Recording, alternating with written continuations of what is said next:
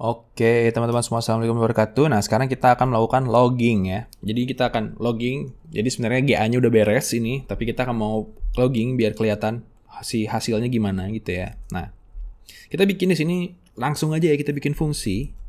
Itu adalah isinya untuk menampilkan. Jadi kita pakai logging aja gini. Logging, apa yang mau kita logging? Pertama adalah populasinya. Oke, betul ya. Dan kedua apa? Targetnya. Oke. Terus apa lagi? Solusinya, solusi terbaik ya. Sama apa lagi? Oke, kita mau ngelihat iterasinya. Berarti generasi ya. Generasinya. Oke, yang belum kita yang belum kita punya yang mana? Generasi. Oke, gampang. Kita bikin aja di sini. Kita bikin generasi awalnya adalah 0 gitu. Terus setiap kita masuk looping di sini, kita bikin generasi sama dengan generasi tambah satu. Oke jadi setiap masuk, oke ini adalah generasi baru, berarti ini bukan di situ posisinya, adalah setelah regenerasi. Oke, ya, jadi generasi-generasi baru diupdate, nanti dia akan update terus setiap ini. Setiap berulang. Oke, nggak percaya. Ketemu jawabannya, generasinya, oke, dia ada 3620 kali looping. Gile ya, cepet banget tadi. Set, udah gitu doang, cepet banget. Oke, mantap, mantap. Nah, sekarang kita bikin logging nih. Loggingnya gimana? Nah, sekarang gini ya, saya mau menampilkan seluruh populasi.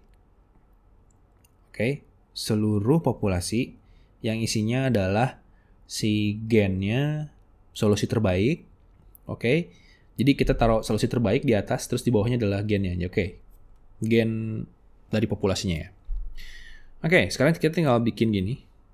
F print F. Oke, gini dulu ya, biar gampang ya. CLC dulu. CLC dulu, karena kita setiap logging kita maunya dia kosong gitu ya. CLC dulu. Ini biar enak kita loggingnya di mana nih? Di Oh, dalam terminasi ya kali ya. Oh, di sini aja. Logging populasi target solusi generasi fprintf, oke. Okay? Nah, kita mau isi target. Target kita ya harusnya sih ini persen s ya, karena kita itu adalah string dan dia adalah target. Nggak percaya kita run. Man, it's too long. It's too long. It's too long. Oke, okay. Aduh, panjang banget ya. Kita gini aja. Kita langsung aja kita ini kita bikin false dulu. Ya. Biar berhenti, satu looping berhenti gitu. Oke, target Wiro Sableng ya. Benar yang ini, target Wiro Sableng. Sekarang kita punya fprintf. Solusinya itu adalah sama, tapi dia adalah apa? Si solusi dot gen. Bener? Nggak percaya kita run. Oke ini adalah solusi kita. Oke oke. Mantap mantap mantap. Nah dari sini kita mau bikin generasinya. Ini generasi keberapa? Fprintf generasi kita kasih persen. Kalau s untuk string kalau misalkan ini pakai d ya D untuk desimal. Kita generation, generasi. Sip, run. Oke, generasi pertama. Inilah generasi pertama. Cut, cut, cut, cut, cut, cut. Oke, kita pengen tes. Ini kita komen. Up, komen ini bro. Kamu hilang. Hilang. Ini kita run. Oke, ini adalah prosesnya. Target dan solusinya. Dia mencari, mencari, mencari, mencari, mencari, mencari. Oke, dapat hasilnya. Keren ya, keren.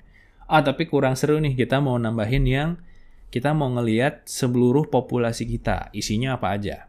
Ya, berarti kita harus melakukan looping. Looping ya. Loopingnya apa? Dari I 1 sampai sampai berapa? Sampai panjangnya populasi. Betul? Length populasi.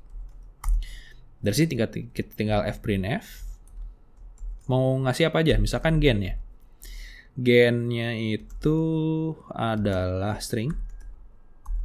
Gampang ini ya populasi i.gen gitu. Terus ini kita copy kita paste di sini jadi fitness. Ini jadi fitness. Oke ini kenapa kayak gini? Karena saya mau ini jangan F ini F ya. Mau membuat dia jadi spasi gitu atau gini boleh nah ini jadi ada tanda ini. Ya pipe nanti kita ke fitness. Terus nanti dari sini kita enter. Enternya di mana? Di bawah aja.